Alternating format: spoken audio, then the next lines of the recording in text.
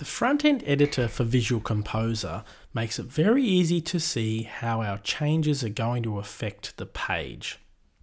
So instead of clicking on Edit Page, I'm going to click on Edit with Visual Composer.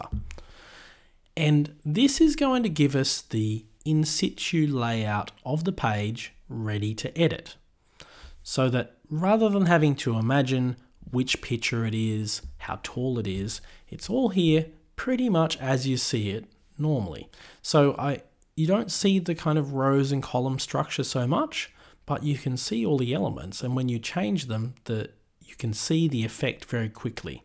So if I click on this text block here to edit it, and what I'm going to do, I'm just going to delete this part of this sentence.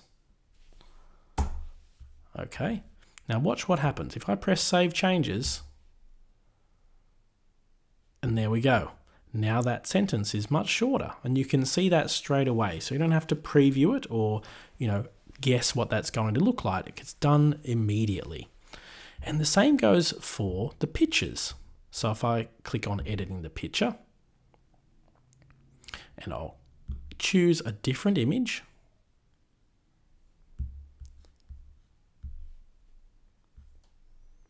Set the image and now I've pressed save changes and there's the replacement image.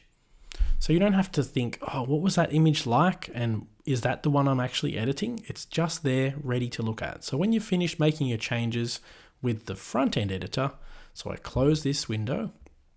And if I want to save those changes to the database so they're live, I'll click on update and that will commit the edits I've made to the website database. And you can see at the top here it says successfully updated. And then to get out of that, I'm going to press the cross in the corner to close that window, close the editing window.